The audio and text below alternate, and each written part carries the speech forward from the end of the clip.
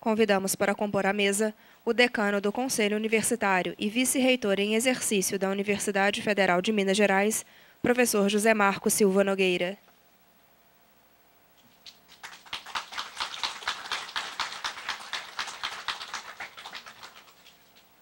Boa noite a todos, todas. Good night.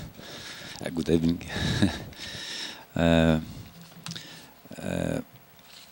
uh, we, I would like to, to invite to the, the table Professor uh, Lyle Campbell. Please. And yeah.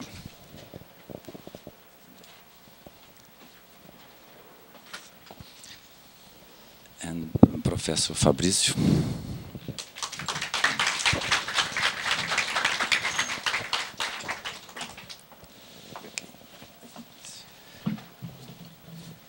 So uh, we're starting uh, the the, the, con the conference uh, that, that celebrates the 90 years of the uh, UFMG, and tonight we have a, a talk by Professor uh, Lyle Campbell. Uh, I'd, I'd like to to invite Professor Fabrício to introduce Professor Campbell. Boa noite, and good evening, everybody. Uh, it's a pleasure to be here to introduce Professor Lyle Campbell. And Professor Lyle Campbell is a linguist with degree in archaeology and anthropology, and specialist in historical linguistics, and particularly in Native American language, developing many new projects about cataloging of indigenous language uh, and also languages that are currently on the uh, threat of extinction, in, particularly here in South America. And currently, Professor Lyle Campbell uh, teaches linguistics in the University of Hawaii, United States, and also participate as a visiting professor in many universities around the world. He published, he published more than 20 books and around 200 articles uh, related to linguistics and historical linguistics. And he has two very important books for our area because uh, we are in a multidisciplinary area interested in, in history and linguistics is a very important tool for us. For instance, in 98, he published the book Historical Linguistics. It's kind of a, a manual book for linguistics applied to history reconstruction. And the year 2000, he also published a book that we use a lot. It's called American Indian Language, the Historical Linguistics of Native America. That is exactly what he's going to talk about to us. And uh, I would like to to to tell you, you as well that he is here also as invited to participate in an international symposium that we are organizing starting now. This is the inaugural letter as well that we are going to discuss about the South American prehistory. It's a multidisciplinary symposium. It's a very unusual type of conference that not many of us have the, the access to that because we are uh, linguists, archaeologists, biologists, physical anthropologists, social anthropologists, archaeologists doing different things like paleoparasitologists, for instance. And so these different areas, they have a common sense. They, they try to reconstruct history in base of their own evidence, but they, when they go to meetings, they have to talk only with the people from the same area.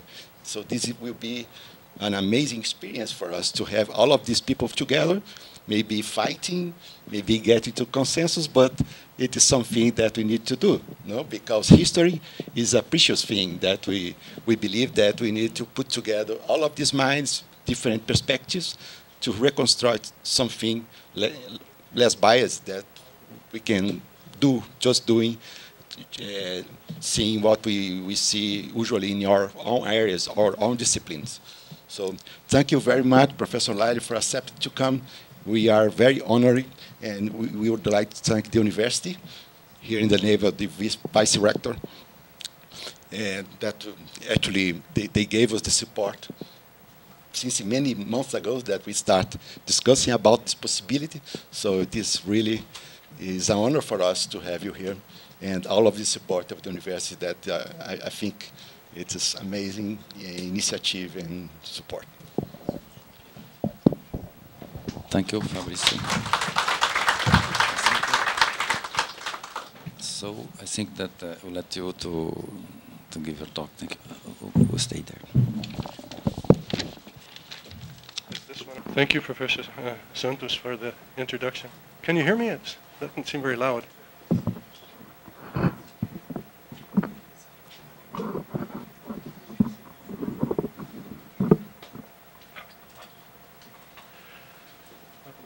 Well, it's a great honor for me to be here. It's a great pleasure to be in uh, Belo Horizonte.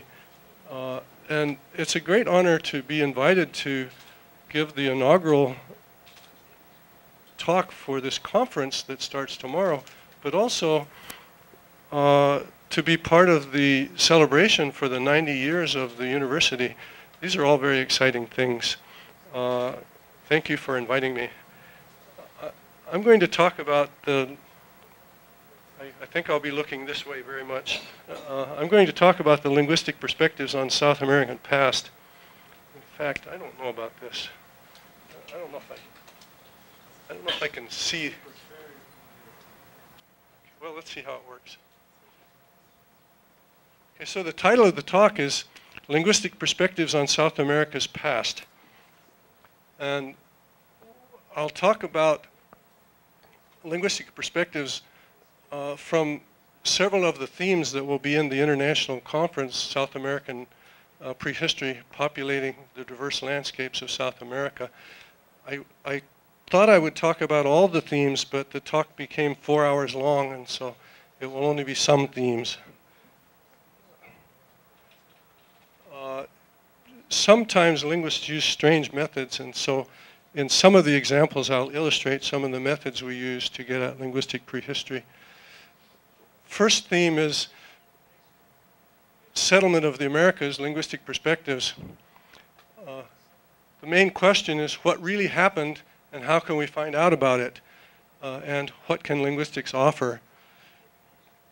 The classification of the indigenous languages of the Americas has played an important role in the research on the peopling of the Americas from the very beginning of anthropological research up until today. Uh, however, uh, the linguistic picture is compatible with most hypotheses for the first settlement of the Americas, and therefore it does not it does not offer much help. We must be careful about many claims uh, regarding the earliest settlement of the Americas based on American Indian languages.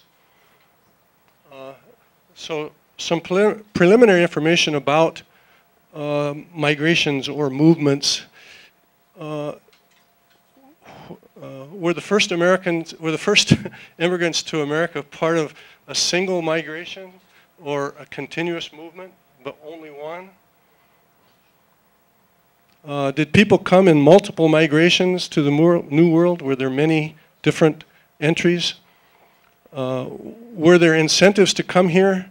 Were people pulled to the Americas? Or did they leave the old world?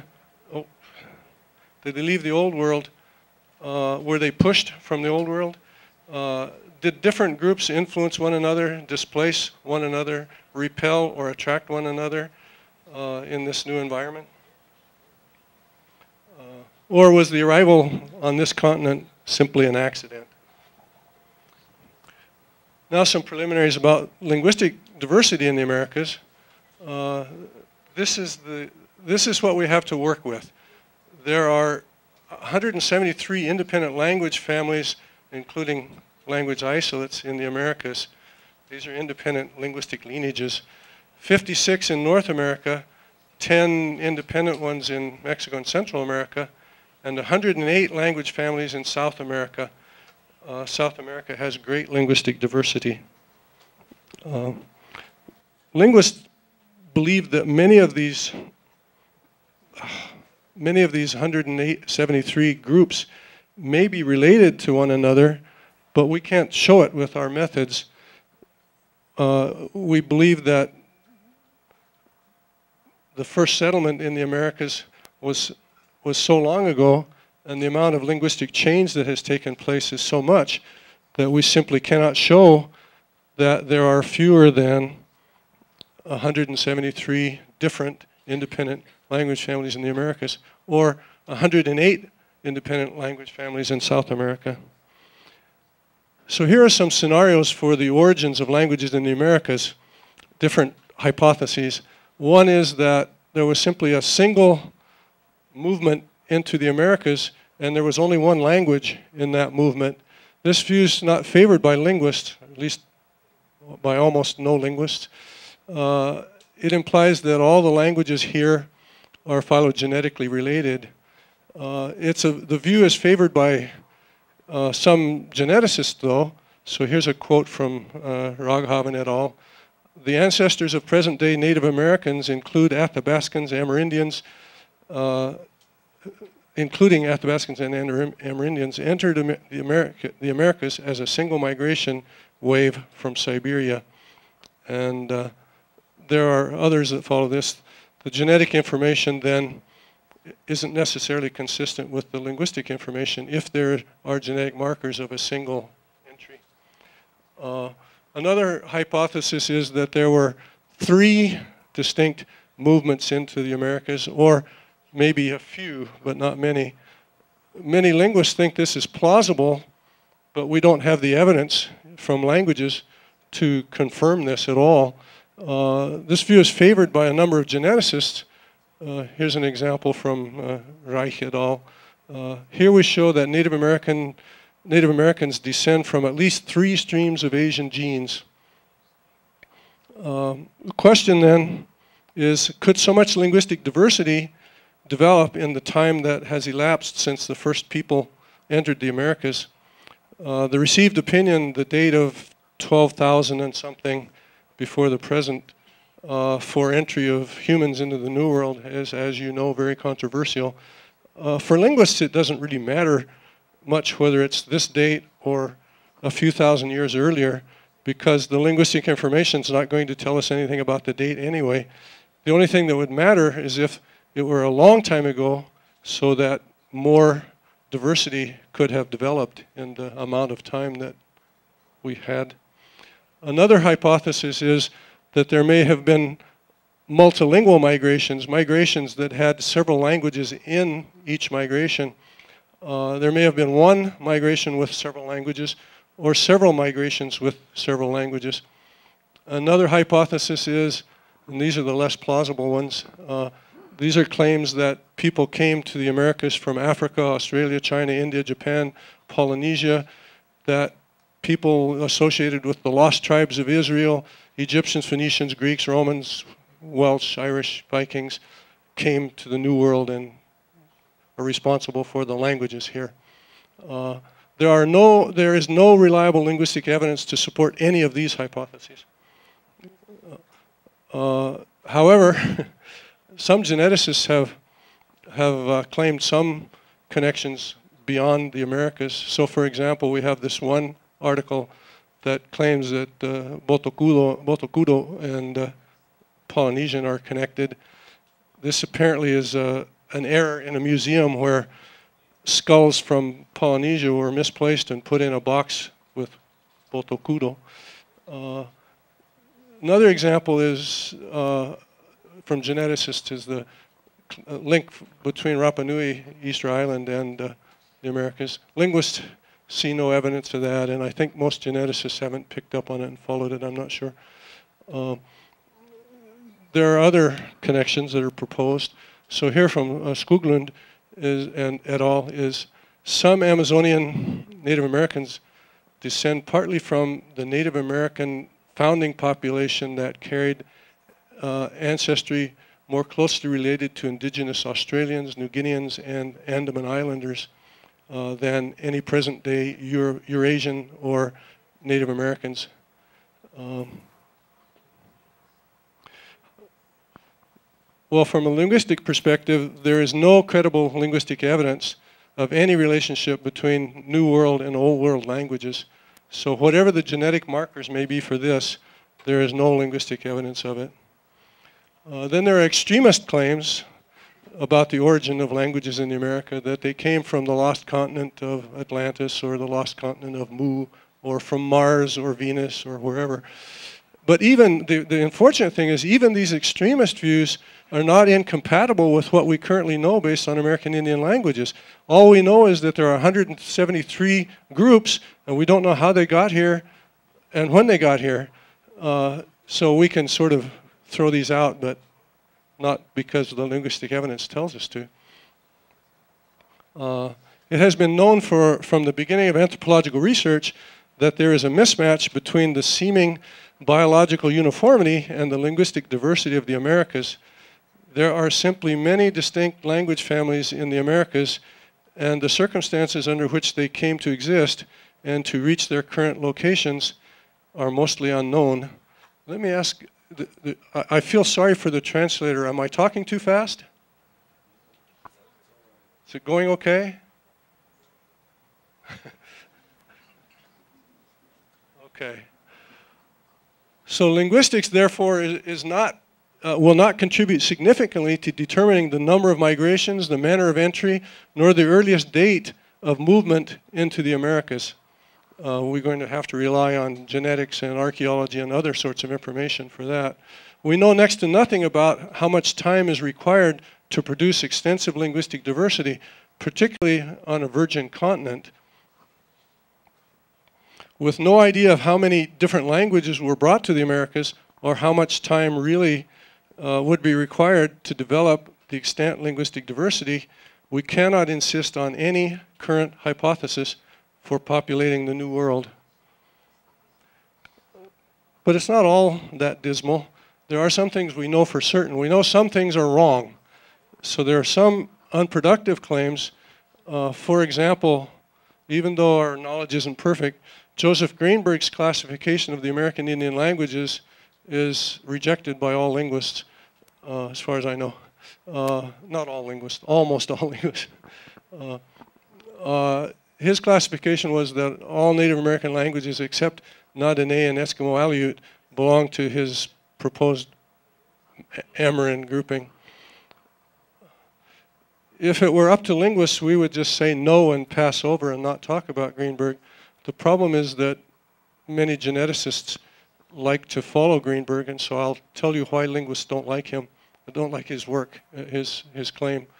Uh, so he claimed, following Sapir and others, that the Americas were settled by three population movements, Amerind, Na-Dene, and Eskimo, Eskimo and Aleut Eskimo in his term, uh, in that order. Uh, it's ironic, however, that he claimed non-linguistic support for his language classification. Uh, he, he thought that genetics supported his classification, the human genetics, because there's a principle in linguistics that says that non-linguistic information is irrelevant for classifying the languages.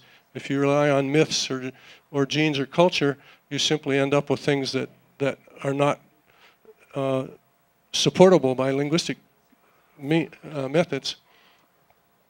So, so has been rejected by all specialists, uh, though geneticists have followed Greenberg's view. Valid methods do not at present permit reduction of Native American languages to fewer than 173 independent lineages. Uh, his classification and Amerind in particular have been criticized on many grounds, and I won't give all of them to you, I'll just give you some of them.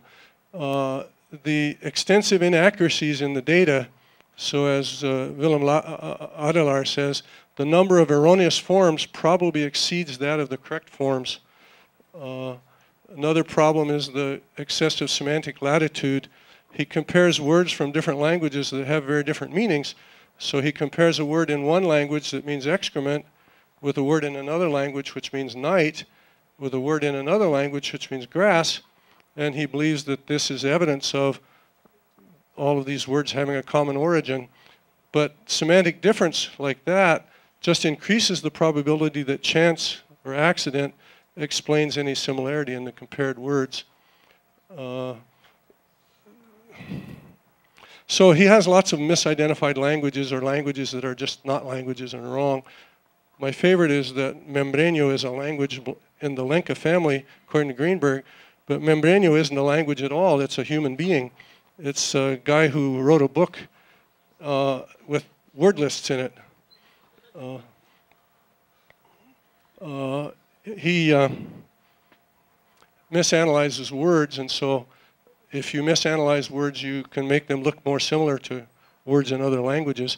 So if you don't see the word divisions, you may think there's a similarity that doesn't exist. So here's Rama, a Chibchan language in uh, Nicaragua, and he looked at Mukwik, thought it meant hand, and thought, okay, this is like my Amerindian word, maki, but it turns out the Rama word has a prefix, mu, yor, and then the root, quik, hand. So if you only look at the hand part, quik doesn't look like maki, or at least not very much. So by not finding the word division, it looks more similar than it is. And then the uh, next part of this is he made false word divisions with no evidence. So here's an example from uh, Chibchan Paezan is a, a, a, large group that he proposes as a subfamily of Amerind, and he has a, a, he compares several languages and says there was a word that used to mean axe. Uh, he only has four languages actually for this. Out of the many languages it, that he believes belong to this, he only has four. He, this is the example, bashita, which means machete. He didn't know it was borrowed from Spanish. It's a loanword from Spanish, machete. And he put the division in even though there is no division. Well, this is a language which has, that everything has to be nasalized, so you have to have nasalized consonants and vowels or non-nasalized. So the only choices would be something like manina or bashita, all nasal or non-nasal. Uh, but by putting this false morpheme boundary, this false word boundary, it makes it look like Bashi is closer to Cabécar, Bak, and Andaki, Boho. So he's created false similarity that isn't there in this erroneous stuff. We saw a loanword just a minute ago, but I'll add loanwords. Lots of, lots of loanwords were missed. So in this same set, meaning axe in this branch, uh, he compared Cuitlatec way up in Mexico with these South American languages. He compared Navajo, which is from Spanish, Navaja, Navajo. Uh, and uh, so it's another loanword that he missed. So in this particular set, there are only four comparisons, and two of them are loanwords. Uh,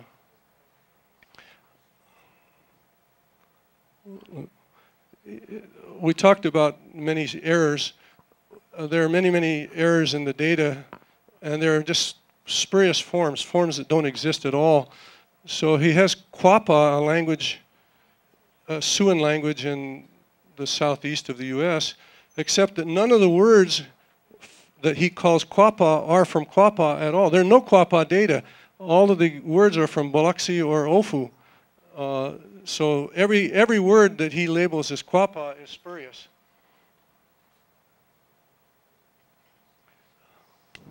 I won't give you all of these other reasons why linguists criticize it, but you've seen enough, I think. So where, where Greenberg's method of multilateral comparison stops, after assembling superficial similarities and declaring them to be due to descent from common ancestor, is where other scholars begin. Similarities among languages can be due to chance borrowing, onomatopoeia, sound symbolism, nursery words, the mama, papa, nana, dada, kaka sort, and these misanalysis like we saw of those words, and also to inheritance. He just assumes all similarities are inheritance and he doesn't look at any of these others. Uh, a plausible proposal of a phylogenetic relationship among languages must eliminate these other possible explanations, leaving inheritance from a common ancestor most likely. Greenberg made no attempt to eliminate these other uh, explanations. His similarities are due mostly to accident and to a combination of other factors. Uh, in short, it is with very good reason that Amerind has been rejected. So it turns out that some geneticists have figured out that Greenberg's Amerind isn't so good, but nevertheless they imagine that some of these sub-branches of Amerind that Greenberg proposed might be a place to look at for hypotheses, uh, but none of the branches of Amerind are supported either by linguistic evidence. They're just as bad as Amerind. They're not less problematic. And so I'll give you one example just to show you why you shouldn't look below Amerind at subgroups. Uh, here's just one case. His Greenberg's proposed macro Panoan, he uh, believes that Panoan, Takanan, Moseten, Matakoan, Waikuruan, Charuan, Lule, Vilela, and Maskoyan languages all belong to this one group. He has 60 set, 62 sets of words that he believes shows this. It's a very small number for trying to prove anything in linguistics, but every single one of his 62 sets of words is, has problems, major problems. I'll just show you a few of them so you can see what's going on. So the very first one, he says, means to be able, and he only compares two of the languages from the many that could possibly uh, have been involved in this set. But in the Nivaclé word, the, uh, this word doesn't exist. There's no such language. There's no such word. It's just a spurious form. Uh, the second one, the same thing. There's a word he thinks means animal in a few of these languages. In Wichi, he gives uh, There is no such word in Wichi. Or there is such a word, but it means pot uh, or jug. It does not mean animal. So these are just spurious forms. They don't, they don't exist. Uh, here's one that he gives a label of anus to. And if you look at the various examples in the various languages, in one language it means buttocks or anus. In another it means tail. In another it means open. In another opening. And in another hole. In other words, semantic, uh, semantic latitude of a, a large sort. Uh, here's, an, here's another example. The set he labels as awake, he compares these languages. So he compares Inambi and Nama to, to Nom in Wichi. The problem here is that Nom is really the root om to arrive, not exactly to awake, plus a prefix that means toward the speaker. So Uh, where did it go? So he just misanalyzed the, the, the, word boundaries here. Well, if you look at Om, it doesn't look so much like Nambi or Nama anymore. And so on. Uh, one last one. He compares a few words that have, you know, for mother, uh, nana, nane, and so forth. This is a sort of word that shows up in language after language after language all over the world the nana, nana, mama, papa, dada sorts of words. Okay, so the upshot of all of that is don't follow Greenberg if you're going to do human biological genetic research.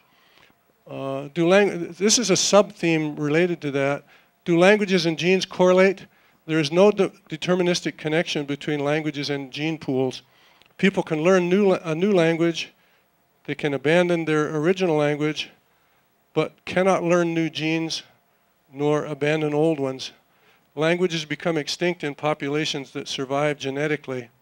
I think most people nowadays understand this, but uh, there's still a lot of research that doesn't seem to. So does the common linguistic ancestry mean, does a common linguistic ancestry mean a common biological ancestry? The frequent assumption is that there's parallel descent, coevolution between language and genes. It is assumed that if two or more languages are phylogenetically related, then the genes of the speakers of these languages will also be similar. Uh, it is assumed that coevolution will contribute to understanding prehistory of these populations. This view is not shared by linguists. The coevolution, the, the, the parallel evolution. Uh, uh, it's not shared necessarily by archaeologists either uh, not in South America, in Europe perhaps more. Uh, at least, this is a quote from uh, Nevish, uh, since the, at least the 1960s, there have been many cases, many case studies demonstrating that there is no universal correlation between language and material culture. Uh, so it shouldn't be necessary to prove that there's not a good correlation between languages and genes, but let me just give you some information about languages being replaced when genes aren't replaced. Uh, so linguistic replacement is very frequent. Uh, we know at least 639 languages that we have good information on that are extinct. And of course, many, many others that are extinct that we don't have good information on.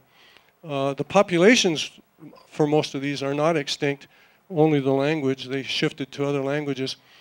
All the languages of 97 language families are extinct. The world only has 407 language families, more or less. That's 24%, about a quarter of the linguistic diversity of the world, calculated in terms of language families, is just lost. It's gone. Most populations that speak these languages didn't die out, they shifted to other languages. The Catalog of Endangered Languages lists over 3,000 endangered languages. Many of them will soon become extinct. Uh, and to mention just one well-known case from our area of interest, uh, along the Rio Negro, speakers of several Eastern Tucanoan and Arawakan languages replaced their languages with Nheengatu. Uh, so the point of all this is that language replacement is, is quite common.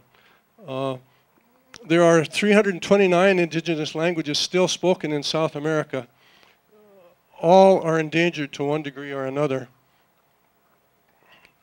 It's uncertain how many languages were spoken in South America at the time when the Europeans first came. Uh, an estimate that sometimes is given is about 800 languages.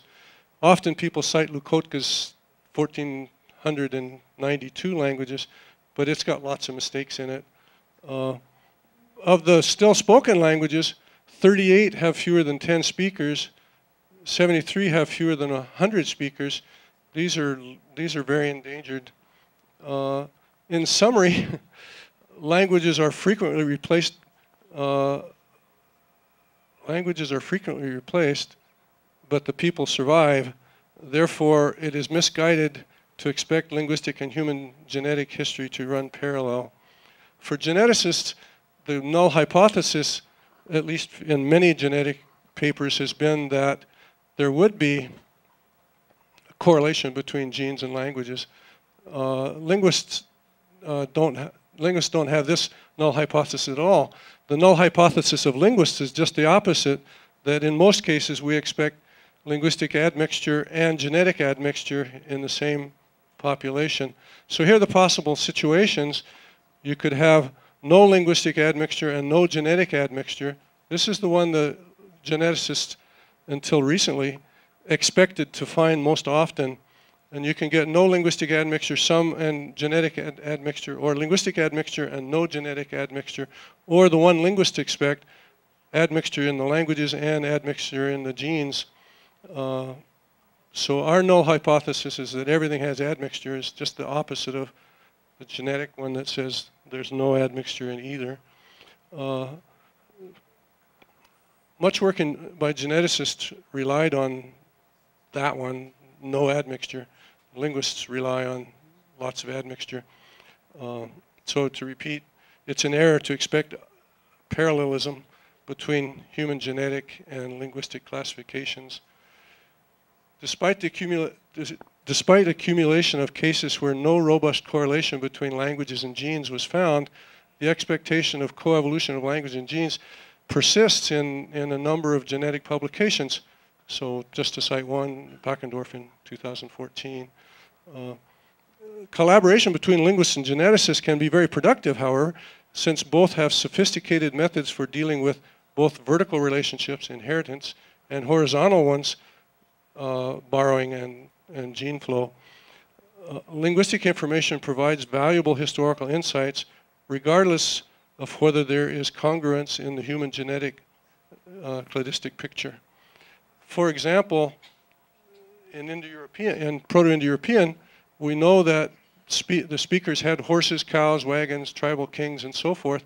We know this from the reconstructed vocabulary, via the comparative method, this provides invaluable historical information regardless of whether we know the precise genetic history of these people or who their present day lineal uh, descendants are. And uh, we cannot oh,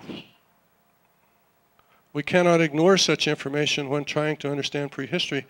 Linguistics in this way can and does contribute much to understanding the prehistory of South America using these kinds of methods. Uh,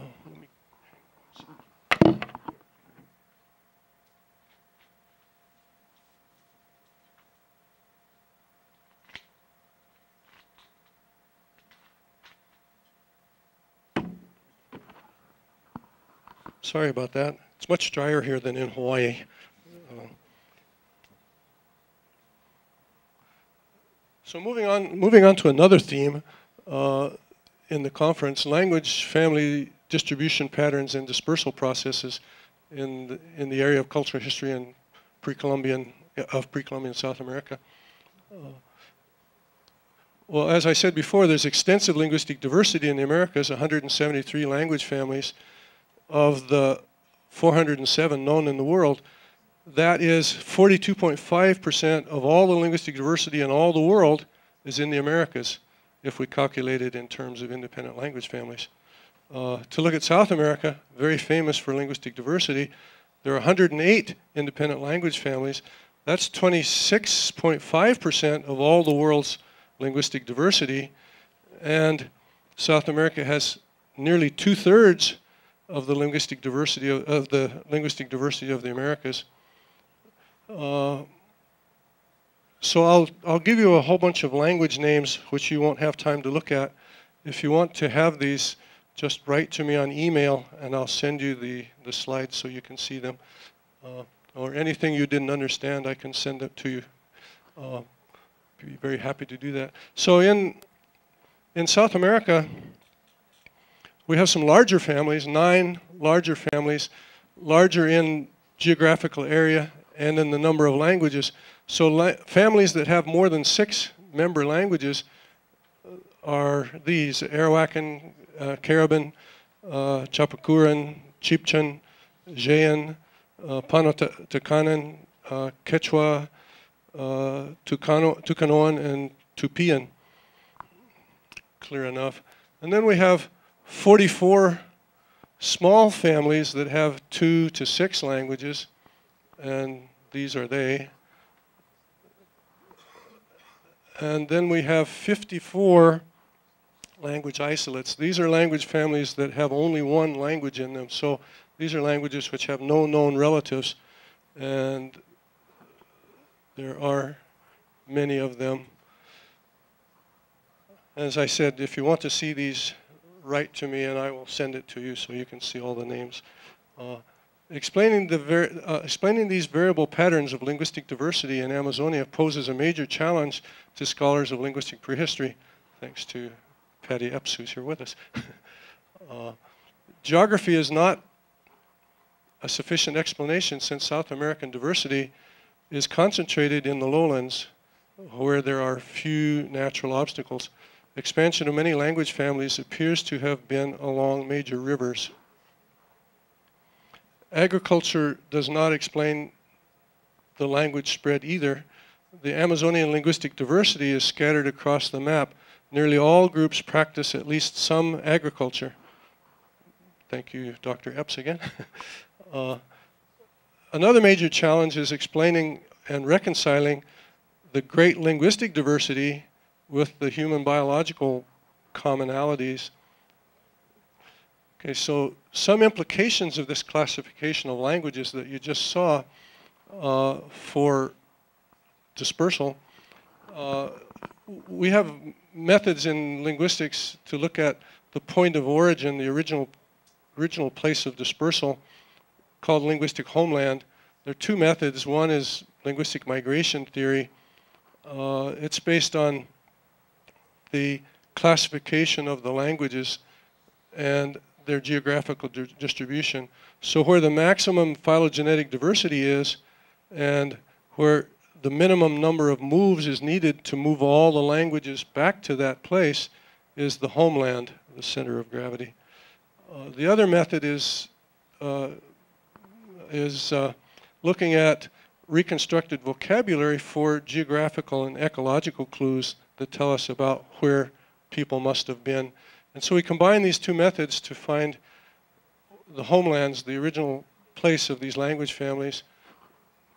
Uh, just one example from uh, uh, Thiago Chacon. This is the Tucanoan languages. Uh, as you can see, there are several off in the west and several off in the east and a few in the middle. Uh, the homeland of Proto-Tucanoan, uh, I'll just read this. On the basis of, of greatest linguistic diversity and fewest moves, uh, Chacon uh, places the Proto-Tucanoan homeland in the, the zone between the Apaporis and the Chaquet, Caquetá rivers. Uh, and you can see that it's more or less here. Uh, and I wish we had more time to talk about this, but using the comparative method, we can find out about the cultural inventory of all these groups. So uh, Thiago Chacon, in his reconstruction, finds that uh, the broad knowledge, Proto-Tucanoan uh, culture had broad knowledge of jungle resources, including some domesticated plants, manioc to plant, yam, sweet potato, chili, tobacco. And they also knew ceramics, hammocks, woven baskets, and so forth. The picture of Proto-Tucanoan society is very general, found in other Amazonian societies. Proto-Tucanoans shared fundamental traits with other Amazonian groups. Uh, I won't spend too much time on this one, but this is uh, the Proto-Tupian homeland from uh, Aryon Rodrigues and uh, Ana Suelly Cabral. Uh, and their hypothesis is that the speakers of Proto-Tupian Proto were in the area between the, the Guaporé and the uh, Aripuanã, uh, uh, Aripuanã uh, rivers. Uh, so in this general area between them. And five of the 10 Tupian subfamilies are in this, this region. And then they have a very good story about how the other five migrated along the rivers to get to where they are, uh, spread into different areas. Uh, and unfortunately, we don't have time to talk about these others, but I'll just mention them. We have hypotheses about the Arawakan homeland, about the Cariban homeland, several hypotheses about Quechua homeland. Maybe Paul will set us straight. uh, and uh, Chibchan, homeland, uh, uh and uh, it would be good for geneticists and archaeologists to look at these regions that are postulated as the homelands of these of these language families. Uh, settlement in South, uh, uh, so this is an, another theme, settlement areas of South America. Importantly, linguists don't look just at family trees, the cladistic classification, but we look also at the history of the languages uh, in contact and the diffusion across linguistic areas, so the lateral transmission. It's very important in South America. In, in terms of diffusion and lateral transmission, an important uh, method or concept is the linguistic area. A linguistic area is just a geographical area where different languages share structural traits that they borrowed from others. Uh, so to give you one example, the Chaco a postulated linguistic area, uh, it's also a culture area characterized by shared cultural traits across these various ethnic boundaries. It has 20 languages or 20 ethnic groups or more in six families. So Guaycurúan, Matacoan, Mascoyan, Lule-Vilelan, Zamucoan, and Tupi-Guaranian. And they share a number of traits, but this is important. I can't go through all of these. We don't have time. But the, the traits that they share are subject, verb, object, word order.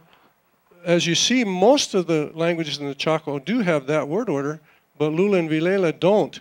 So, and then languages outside of the Chaco also have this word order. This is the pattern we're going to see over and over and over again is that some trait will be shared by a number of languages in the area, but not all. and will be shared by languages outside the area. Uh, so the gender, grammatical gender is another trait. It's shared by these various language families, but not all Chaco languages. But it's also shared by other South American languages, and that's the main. If if you want to, uh, I'll send this to you if you write and ask, and then you can study all of these traits in in detail. Uh, so few traits are shared by most Chaco languages. Most traits also extend into other areas, overlapping languages in the Andes and, the, and Amazonia and in the Cone or Fueguan area.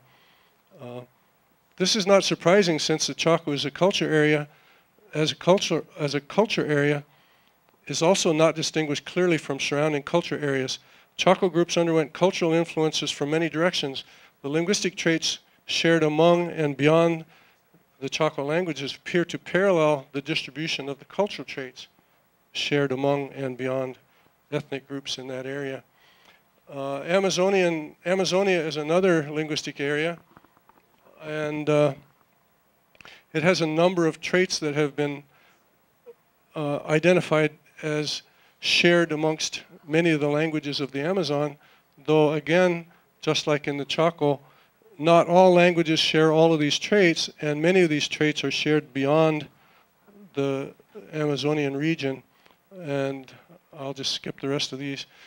Another linguistic area is the Andes, and as you can see this quote from Dixon and Aikhenvald, there's no sharp boundary between the Andean and Amazonian linguistic areas. They tend to flow into each other.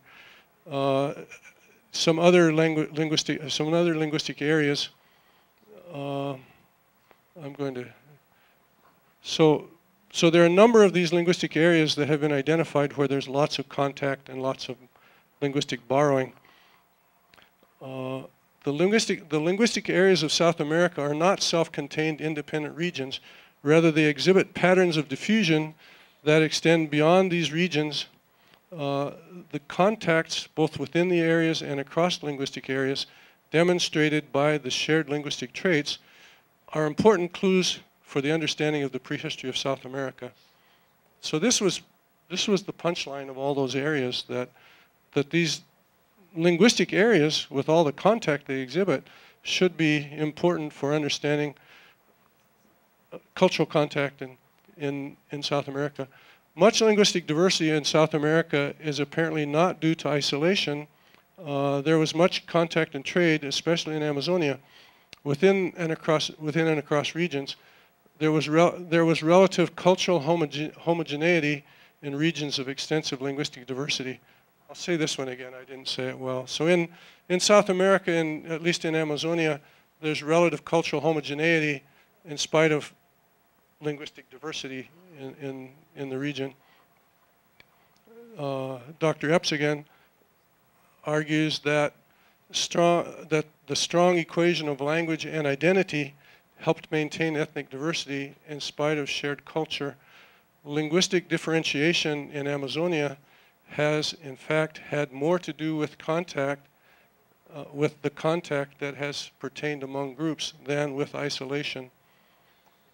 So identity is more important than isolation. Uh, understanding linguistic areas, then, is important for examining both contact and dispersal of cultures and populations in South America uh, and for comprehending, comprehending South American prehistory. The linguistic areas shaped by intensive ethnic, linguistic, and genetic interactions provide important grounds for archaeologists and geneticists to examine hypotheses about contact, trade, intermarriage, dispersal, and other things.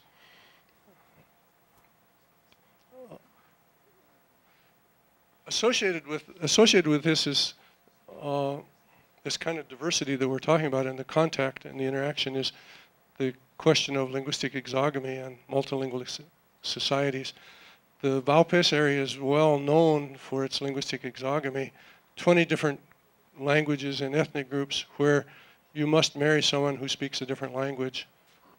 Uh, I wanted to give you an example from my own work from uh, Misión La Paz in Argentina in Salta province. Uh, it's on the Pilcomayo River just across the river from Paraguay and 20 kilometers down the river from Bolivia. They speak three languages here, uh, Chorote, Nivaclé, and Wichi. They're all Matacoan, but they're very different. Uh, langu- they're very different from one another. They're not very similar, at least not like Guaranian languages or Romance languages. Uh, here's a different map of Argentina, and here's the region in Paraguay. So these are the languages that I'm talking about. In Mission La Paz, there is linguistic exogamy, so marriage is between people who speak different languages. When they marry, each spouse speaks his or her own language and is addressed in and understands the other spouse's language in return. A spouse does not accommodate by speaking the other spouse's language. So the husband speaks one language and the wife speaks another language all the time. Uh, they also have linguistic dualism, which is what this is. Uh, speakers and hearers in Mission La Paz in conversations typically are not speaking the same language. People communicate regularly with speakers of different languages, but rarely speaking the same language. So this duolingualism is is uh, what's involved. It's uh, it's highly institutionalized here. I'll just give you one example. So here's a typical family. Uh, this is uh, Elite and Anita. Uh, Elite speaks Chorote and understands the other two but does not speak them. Nivaclé is her language that she speaks and identifies with. She understands the other two but does not speak them.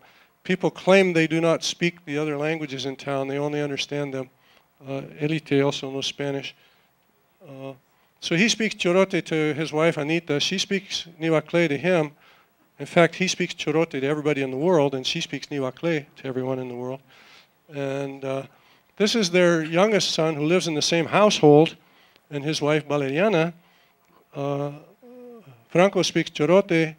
He understands these others, speaks Spanish well. Uh, Valeriana uh, speaks Wichi. She understands the other two and speaks Spanish well. And so she, so he speaks Chorote to his wife. His wife speaks Wichi back to him, and of course they speak this. So in this household there are trilingual conversations. All three of these languages are be being spoken all day long in this house, and this is not unusual for this community. These social, social cultural facts of language use and choice, uh, such as linguistic exogamy and dual lingualism, have implications for the interpretation of ethnic, uh, of ethnic groups and their interactions in prehistory. Here, clearly, human population genetics does not match closely linguistic identity or phylogeny, linguistic phylogeny. It is obviously not the case, at least in a number of instances in South America, uh, that humans do not tend easily to easily cross language boundaries in choosing a partner. Here you must cross linguistic boundaries to choose your partner. This is from a genetics paper uh, by uh, Barbujani. Uh, the existence of uh, situations of linguistic exogamy clearly con uh, confounds the assumption of parallel transmission of language and genes. These cases have implications for the kinds of cultural patterns and interactions that may be expected uh, today and also in the past. And that's it. So let me just read the conclusions. Uh, linguistics can and does contribute significantly to understanding South American prehistory. Uh, however, linguistics is unable to help answer most questions about the earliest peopling of the Americas. The linguistic information is compatible with most hypotheses about the earliest people in the New World. Greenberg's classification is, is out. Don't pay any attention to it. Uh, it is mistaken to assume parallel evolution, that linguistic history and human biological history will correlate. Well, uh, language extinction is frequent in populations that survive. Multilingual populations and ling linguistic exogamy confound parallel evolution. Uh, nevertheless, genetic findings can suggest hypotheses for linguists to test, just as linguistic findings can suggest hypotheses for geneticists and archaeologists to investigate. And when the genetics or archaeological information and linguistic findings do match, though this is, well, not so much in archaeology, when the genetics and linguistic findings match, though this is rare and not to be expected, these are very valuable instructive cases. Uh, there is extensive ling linguistic diversity in South America, the greatest of any region in the world in terms of language families. These language families and their these language families and their distributions provide important information for understanding the prehistory of the continent. Uh, the investigation of linguistic homelands of language families is valuable for understanding prehistory and can offer fruitful hypotheses for examining correlations with archaeology and human genetics. Linguistic areas are important for the study of horizontal developments, patterns of diffusion. More work is needed uh, to examine correlations of linguistic areas and the patterns of contact and interaction they, they reflect, uh, correlations with archaeological and human genetic uh, research. The implications of and consequences of multilingualism, linguistic exogamy, and dual lingualism, uh, and horizontal changes in general for hypotheses and interpretations of prehistory need to be taken more carefully into account and investigated more extensively. The cultural, the cultural, cultural inventory of reconstructed vocabulary done by the comparative method of proto-languages provides valuable historical information. The great diversity of languages in South America still lacks explanation. The hypothesis that a strong equation of language and identity helped create and maintain ethnic diversity in spite of shared uh, culture and much contact bears further investigation. Uh, while maintenance of ethnic and linguistic identity appear to be strong motives in the Vaupés region, the extent to which ethnic and linguistic identity may be less rigid or more fluid in other regions needs to be carefully investigated. Uh,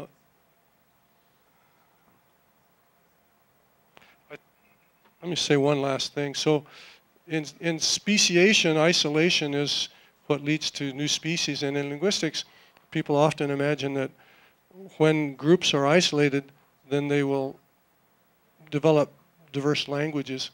Uh, that's not what we're seeing here is that there, are groups that are in constant contact, nevertheless maintaining their linguistic diversity. So isolation is, not, is apparently not what's leading to speciation or the creation of new languages here. And that's it. Thank you very much. The, there's a bibliography for anyone that wants to get this paper.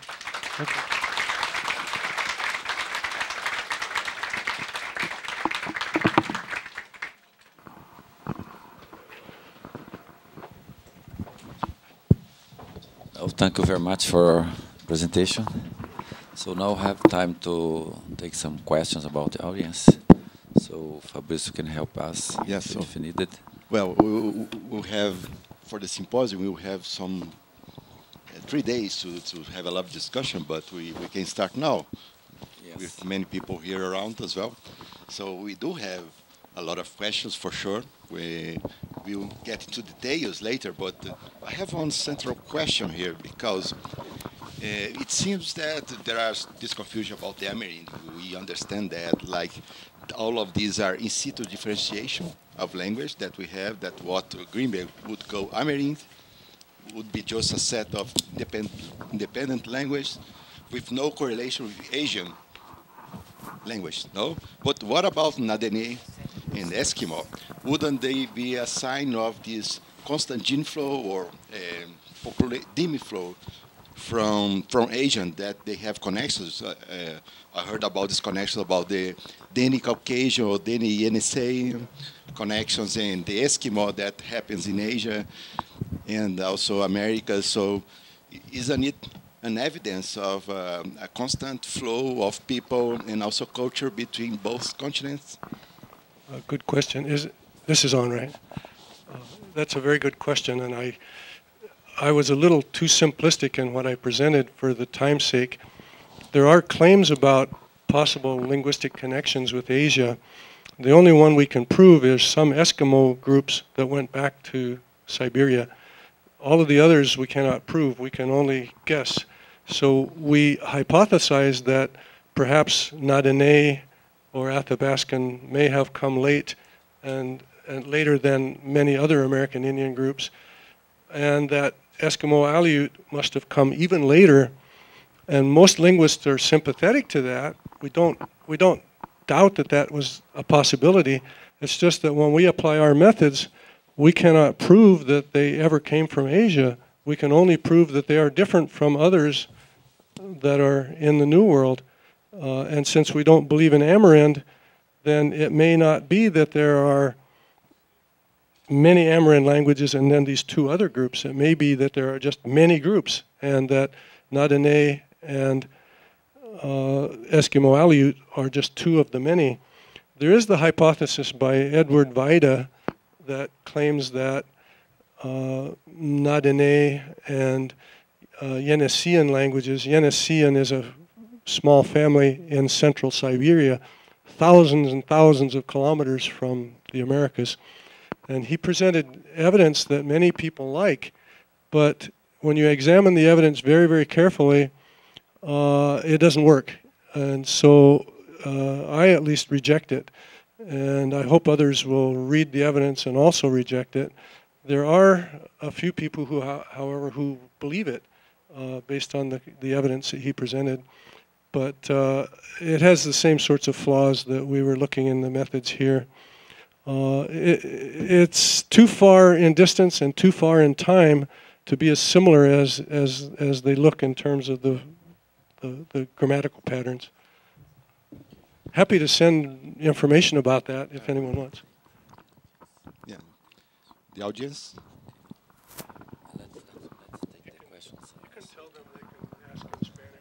Yes, yes. Um, so uh, from the audience, you can also take a question in even Portuguese or in, English, in Spanish if need, and can translate if you need. I think well. So, oh. Okay. I have a question coming back to the diversity of South American languages. You said that there's no good hypothesis to explain why South America is so diverse. But can you expand on what would be potential causes for this? Like hypothesis for us to look at that could explain this? No. No. Uh, okay. Uh, no, I don't. I don't have any good hypotheses. Uh, there's some around. Patty's is about as good as it gets. That that uh, isolation wasn't what was going on, but a desire to have an identity that was. Uh, but but you know there are many reasons why languages diversify. It's not all just economic determinism. It's not all geography. It's many social, cultural, and other reasons. And it may be that there were many different things involved in different kinds of diversification in South America, but I don't know. Uh,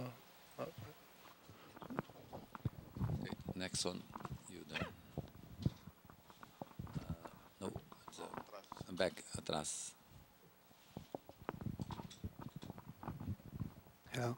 Um, about overlapping uh, between uh, languages and, and, genetics. I do think that uh, language it's a, a, good null hypothesis in order to start to uh, to look for what genetics uh, talks, uh, because when two populations are mixed, um, you, if 50 people from one population and 50 people from another population and mix, you have half of the of the DNA inherited from one population and half from the other, although uniparental markers can talk other histories. But uh, in languages, I think that uh, when two populations meet, usually one, one language substitutes the language of the other population. So until which point I'm wrong, until which, which point when two populations meet, uh, a new language can emerge, like a kind of Creole language can emerge uh, and has uh, two equal parents. Yeah, there. That's a good. Is this on again? Yeah, that's a good question too. Uh, most linguists, most linguists that work in uh, historical linguistics of the Americas aren't very excited about creolization, languages becoming new languages developing because of pidgins or creoles.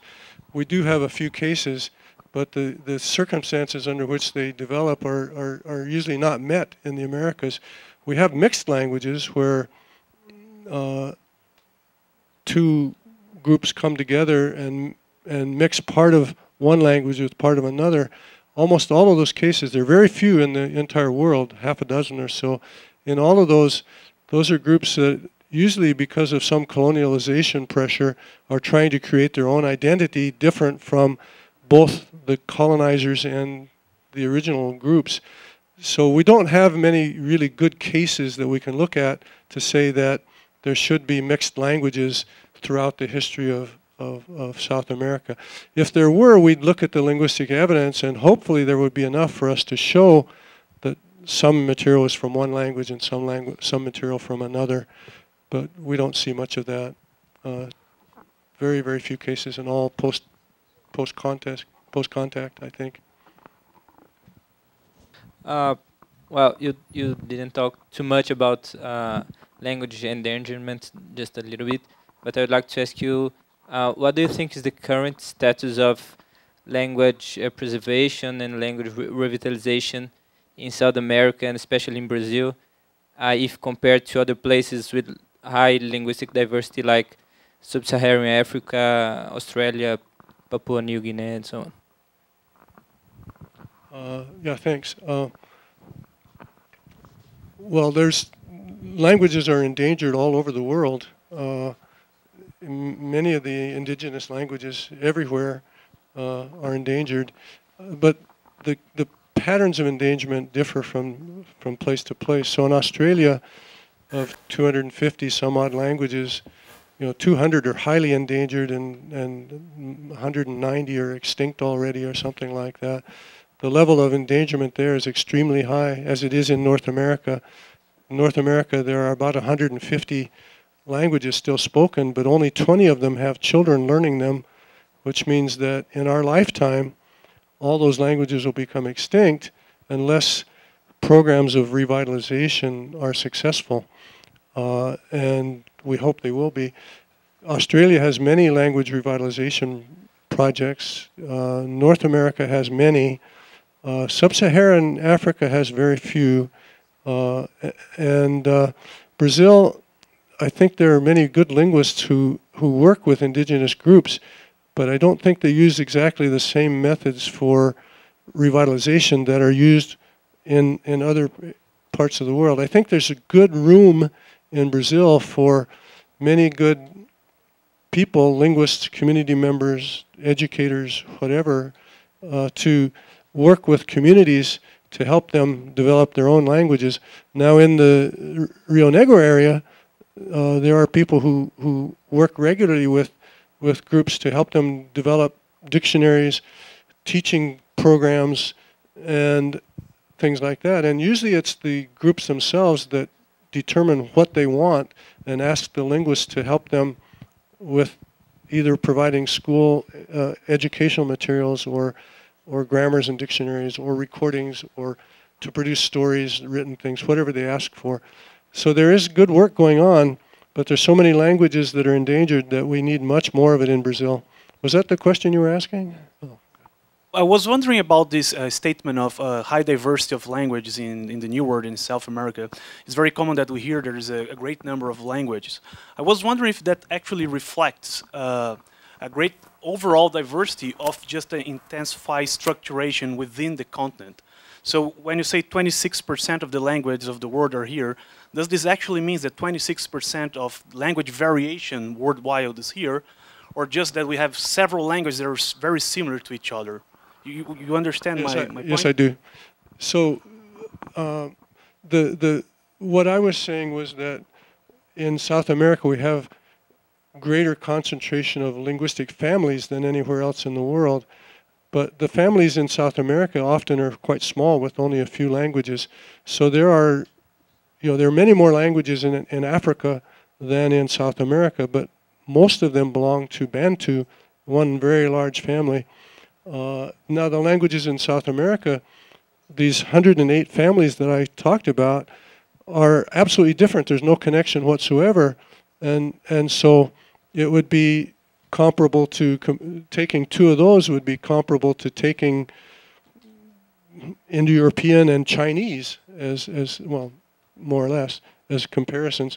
So the languages are similar within the families, but not similar across.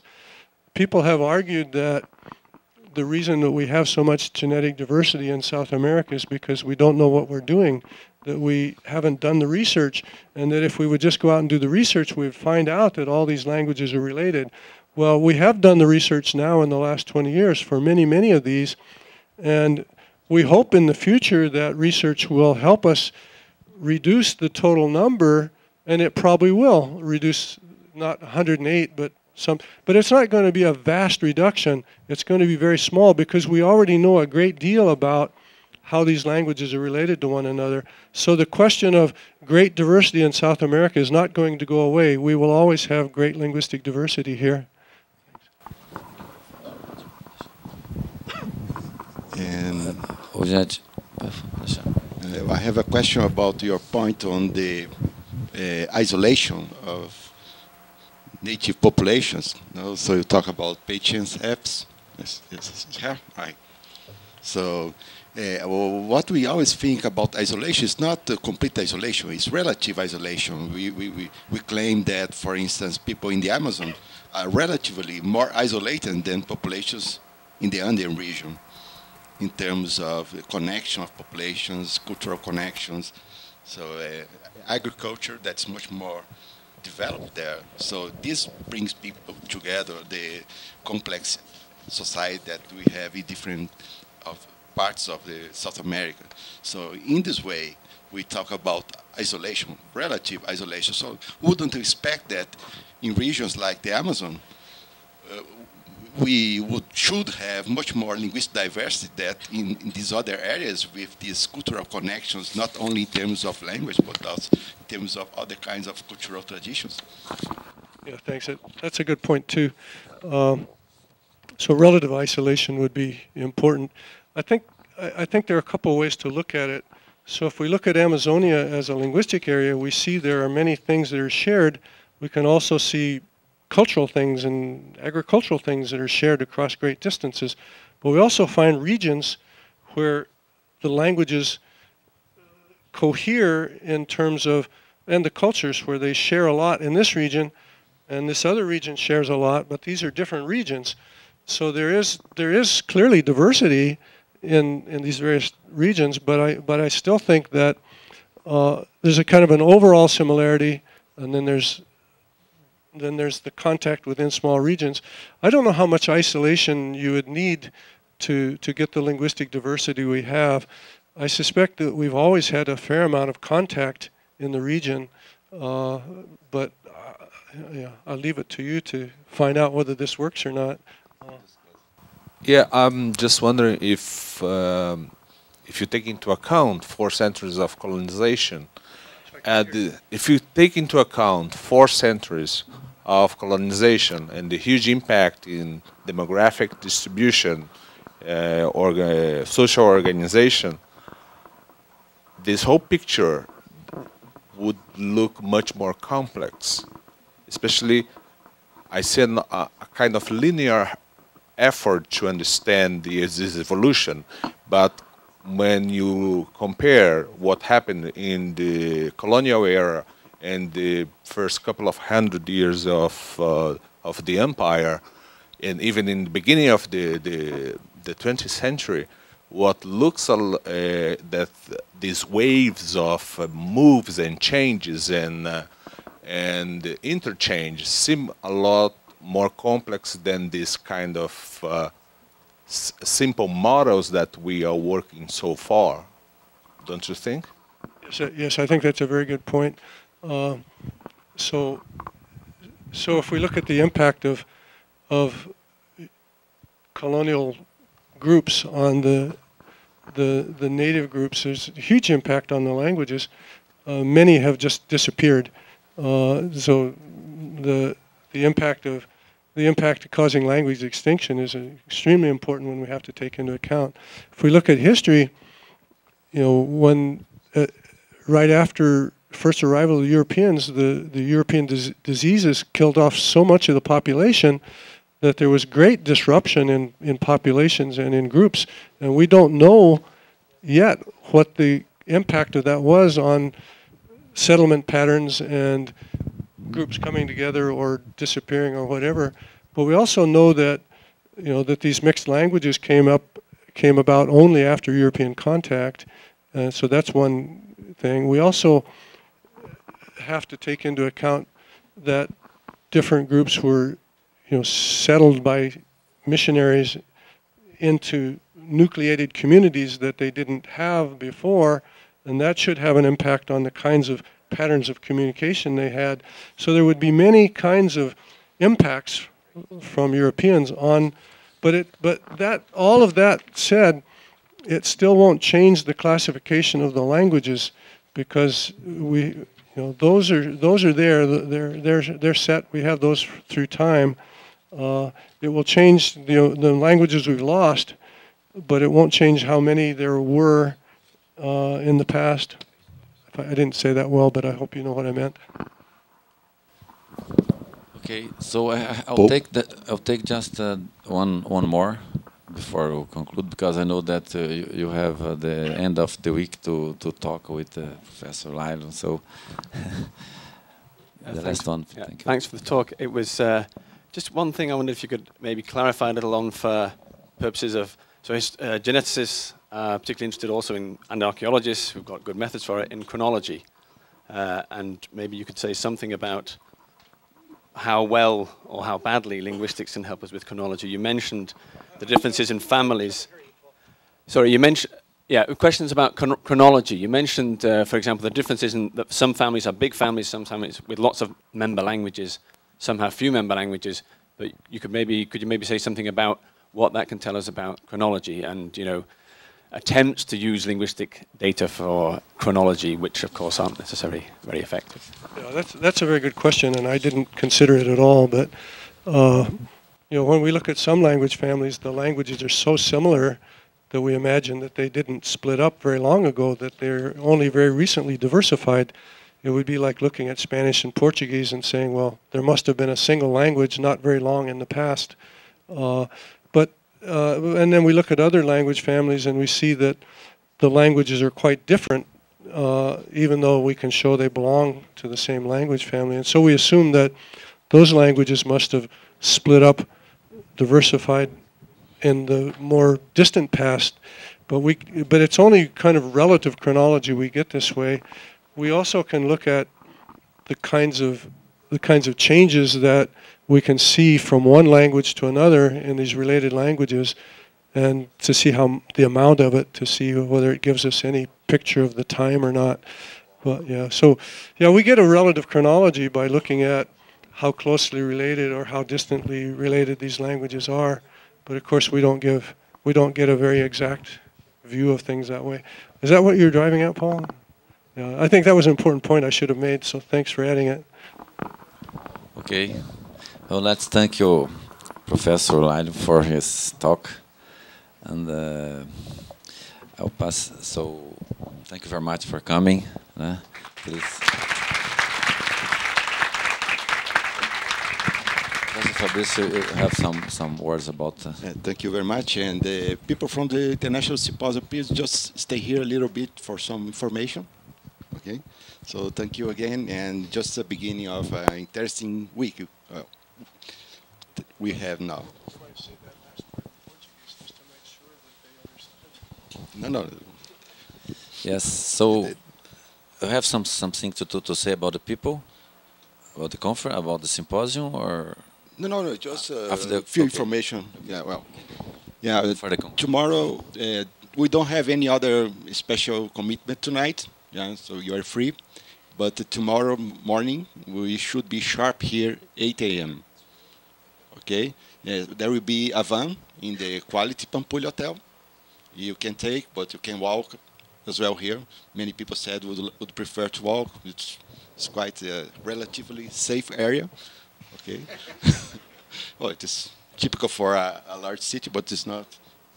It's a, it's a good area here around the city, and uh, well, so you can choose between coming by bus, by van, or walking, and we have students helping you.